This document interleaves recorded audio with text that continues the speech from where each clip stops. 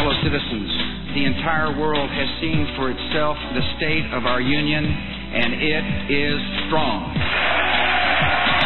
We're a little brown, we're a little white, we're a little left, we're a little right. Many accents, colors, and cultures. We agree to disagree on all but freedom. I know there are struggles ahead and dangers to face. But this country will define our times, not be defined by them.